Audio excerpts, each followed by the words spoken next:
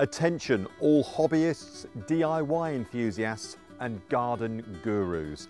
I've got a great bit of kit for you here. This is the Worx combination drill. Now it's called that because it does more than one task. First off, you can use it as a powered screwdriver. Two speed here, so you put the power down, adjust the torque settings, which adjusts how much power goes to the actual head of the drill.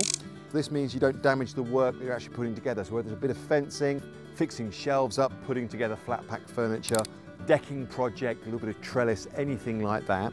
The next mode of use here is a high speed drill. If you're drilling into plastics, fiberglass, metal, you need something that can spin around really quick. And finally, you have a really heavy duty hammer action. Now this used in conjunction with the side handle, so you know if you're coming up against something which is pretty sturdy, the bricks on the outside of the house for those uh, hanging baskets in the spring, you know that this is going to be able to do the job it's required to do. Now the power of it is 18 volt battery power, comes with a charger and two batteries. So whilst you're using one, you can have the other one on charge. And all of this fits comfortably inside the blown plastic box so you don't lose any of the bits. And because it's a Worx, you know it's guaranteed and designed to work.